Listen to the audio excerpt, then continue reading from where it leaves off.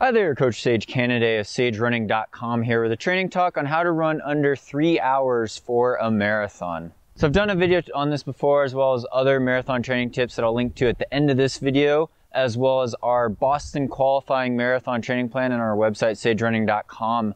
Uh, but first of all, I want to say, you know, this is a great goal. Uh, it's a very advanced goal for a lot of runners, a very fast time. And these tips are going to be applicable to if you want to run a Boston qualifying marathon as well. It's uh, tiered based on your age group range. So maybe your, your goal is to run under 330 or 320 for the marathon. Uh, these tips are applicable to running your potential basically in the marathon and you just have to slow down the speed and the paces of the workouts I'm going to give you.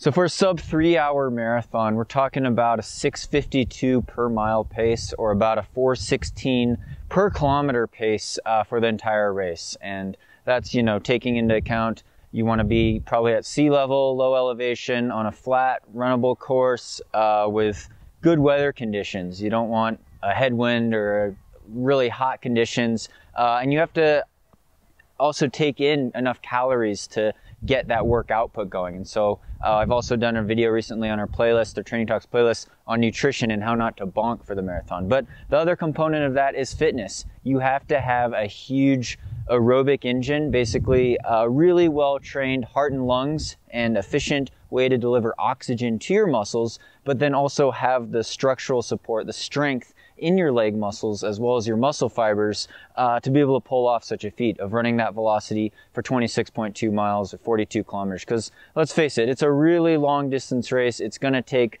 uh, pretty high uh, volume training, and that's the number one tip, the number one pointer that you see most of the people we've coached to sub three hour marathons or faster, uh, either directly or indirectly through our training programs, is that they've built up this large base of running, maybe for years and years of consistent training. And usually for most people, and it depends on your talent level, but for most people, that's going to involve uh, running at least 50 to 60 miles per week, uh, for, probably for at least several months, if not several years, uh, kind of pretty consistently, and that's about what's uh, 90 to 100 kilometers per week, and that's kind of almost the bare minimum uh, of volume that we see. A lot of people will need. Some people even need more. Uh, if you have, if you're really naturally talented, you have a lot of speed, maybe you could do it on less training. But usually, that volume and that consistency is going to give you the endurance, the stamina, the fat burning ability, uh, and the overall strength to be able to sustain a pretty steady pace for such a long distance. Because again, it's a big long distance race, mainly all aerobic energy system. Uh, you need to be super efficient from that standpoint. And the high mileage training trains the heart and lungs to make that system really efficient, as well as training the legs. Now, the second part of that, of course, besides consistency of high mileage, and that's mostly easy pace running, uh, is adding in quality specific, marathon specific workouts that are going to fine tune your fitness and give you that edge uh, so that you're not totally out of breath, that you're, it's a manageable pace, and that you don't uh, bonk or run out of energy before you get to that finish line. Uh, the first key workout that we have in a lot of our programs, and tried and true part of a distance runner's training process. There's more emphasis on this workout because it's a marathon race. It's a long distance race. It's a totally different ballgame than a half marathon or a 10K. Uh, is what we call a progression or an up tempo run. And if you go to our website again, we have this free pace spectrum chart. It comes with all our training plans. But up tempo uh, is a term that uh, Sandy and I, Coach Sandy and I use. Um, that's a slightly slower intensity than true tempo run pace or lactate threshold intensity. Uh, think of it more as like a zone two type of training. And it's something that is very close to your goal marathon pace. If you're around three hours flat in the marathon, uh, it might actually be slightly slower than your goal marathon pace. And the idea is to do a run, maybe it's a six mile run or a 10 kilometer run, uh, to start off and start off a little bit slower than goal marathon pace, then hit goal marathon pace. So in this case, 652 per mile. Uh, and then to, to actually speed up a little bit faster at the end of the run for the last couple miles or the last three or four kilometers. Um, And that's a really good workout because you're running uh, and then you, you progress. So maybe uh, after a month or two, you're progressing up to doing a 10 mile or a 16 kilometer up tempo or progression run.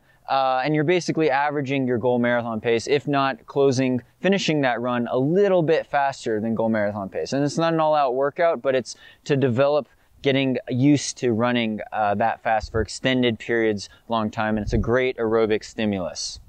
So the next key type of workout, and this is tried and true, it's what I talked about in my half marathon training video and 5K and 10K training videos, uh, is the tempo run, lactate threshold intensity. Now, generally, you're going to get your best bang for your buck doing fairly high volume, long distance workouts at this intensity. Not just the 20 minute tempo run, but more advanced variations on that, like two mile repeats or uh, 3,200 meter repeats, uh, and even building up to three mile repeats or five kilometer repeats. And this is going to be closer to half marathon pace, maybe even slightly faster than half marathon pace. So for this theoretical sub three hour marathon runner, this 259 marathon runner, we're looking at running 640 uh, to 630 per mile pace for maybe uh, a series of doing three times two mile repeats or three times five kilometer repeats.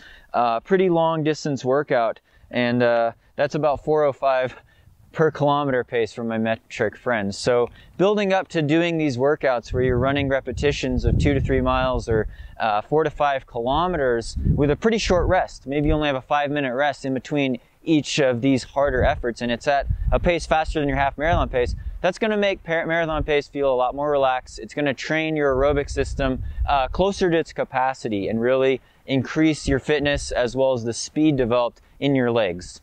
Now the final type of workout, the final key workout is to add more of an element of speed. And in the case of marathon speed, it's not so much sprinting speed or running quarter mile repeats really fast or even Yasso 800s. Uh, there's an old workout saying where if you do a bunch of repeat 800 meters, I think it's 10 by 800, uh, and you run 259 for all of them with a short rest, then you're in 259 marathon shape. Well, What's more specific to the marathon would actually be doing something like five times 1600 meter repeats or five times one mile and doing those maybe not quite as fast, but definitely close to uh, six minutes per mile or six flat per 1600 meters. And again, if you can't do 1600 meter or mile repeats close under 610 per mile pace, it's going to be really, really hard to string together 26.2 miles at 652 mile pace. Uh, so getting those down closer to six flat uh, is going to be a key that's going to help get your heart rate really elevated, but also train the legs and stimulate the fast twitch muscle fibers so that you have that uh, comfortable speed and that efficiency or running economy is what we like to call it. Uh, so that when you're running the marathon, it doesn't feel like it's super fast. It's more of a controlled effort. You're running with good form uh, and you're not huffing and puffing too much. So adding in that element of uh, speed training, repeat 1600, four to five times 1600 meters or one mile at around six flat uh, with a very controlled three to four minute rest only. It's not a full recovery. It's more of a VO2 max type of workout, but again, unlike 5K and 10K training, it doesn't have to be as intense. It doesn't have to be as fast uh, because it's more about getting in the volume of work and developing that relative uh, speed and running economy. Uh, so those are kind of the nuts and bolts of what you need in a to reach your potential basically in a marathon training program. Whether you're trying to crack three or you're trying to crack 330 and get a Boston qualifier, or even if you're trying to crack a 240, uh, these tips are applicable kind of to all those speeds in that goal range. Shit. All right, sorry guys, it got a little too windy outside. The camera actually blew over, but uh, the other key workout that you're really going to need for long runs. And again, most of the mileage, most of the stuff you're doing is at easy pace uh, intensity, like at least uh, a minute per mile or 40 seconds per kilometer slower than your marathon race pace, or even slower. A lot of relaxed running to build up your easy pace mileage, taking easy recovery days between these harder workout efforts. And the next key workout, and probably the most crucial uh, for marathon success, at least at the advanced level, would be the long run. Uh, and for this mileage range and to run under three hours for the marathon, usually involves doing probably at least the 20 mile, building up to 20 mile in distance long run or 32 kilometer long run. And the key with the long run isn't to just go out there and jog it. and cover the distance, it's to actually do it pretty hard. It's going to be a key workout. So maybe you start off uh, at an easy pace and relaxed pace and warm up for the first 10 miles or the first 16 kilometers on this long run. But then you start throwing down in the second half of the long run, and there's an extended stretch in there of uh, six miles or 10 miles or 10 kilometers or 15 kilometers where you're running very close to goal marathon race pace or sub three hour marathon race pace. Maybe you have a couple miles under marathon race pace. And it's getting used to running fast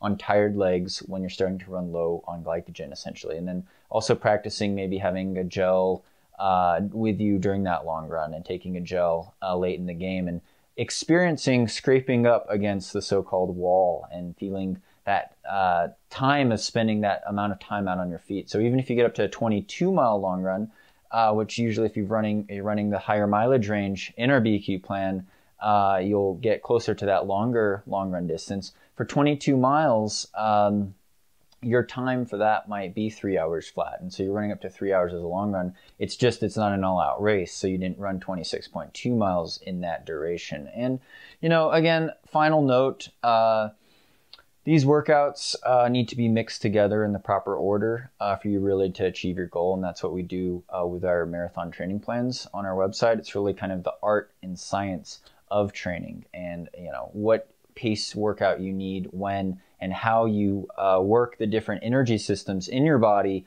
uh, to be able to peak at the right time for your goal race, and kind of planning your schedule out.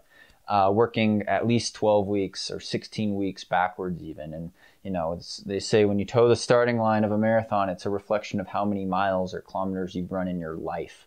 Uh, because everything kind of builds up to this long distance race. And that's kind of the idea uh, behind all these workouts as well as our progressive uh, aerobic base building plans so thanks so much uh, for following along again uh, really couldn't do this without the support of all you guys all the views all the thumbs up uh, all the Patreon supporters, as well as my sponsor, Hoka One One.